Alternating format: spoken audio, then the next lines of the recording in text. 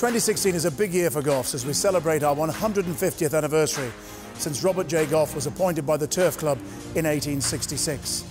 It's also the 20th year of the Land Rover sale, and this is a sale that's really come of age in the last few years with a vibrant trade and more Grade 1 winners at the Cheltenham Festival than any other store sale.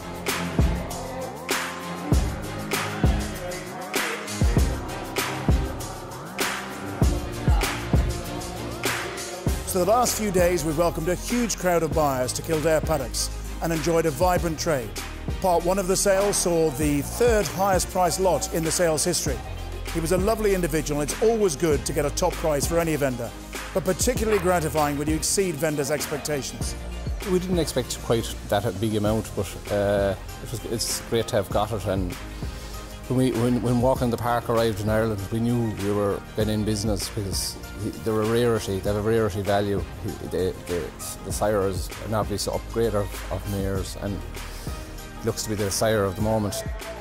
This year's sale sold more 100,000 euro horses and more horses making 50,000 or over, together with an 87% clearance rate always a very racy type of horse here at the Land Rover, um, and and it would like it definitely lived up to its reputation. There's some very nice horses, some very athletic horses, and um, we bought a couple of nice horses, very nice Yeats, um, nice Mahler horse, and uh, we've I suppose a nice a couple of nice Oscars and a nice Soldier Fortune. So we, we've we've um, I hope we've got a bit of value and um, very nice horses here, and I think the trade is strong. So hopefully hopefully one of them will be up.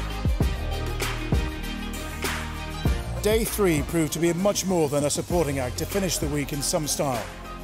So all in all, there's been a superb atmosphere here over the last few days, helped along by a vibrant sale and a party hosted in the Land Rover paddock by Land Rover, ITM and Goffs, where buyers and sellers alike came together for a most enjoyable evening of socialising and networking. We'd like to pay tribute to the vendors who've supported the sale and to every buyer who flocked to Goffs searching for their next festival winner.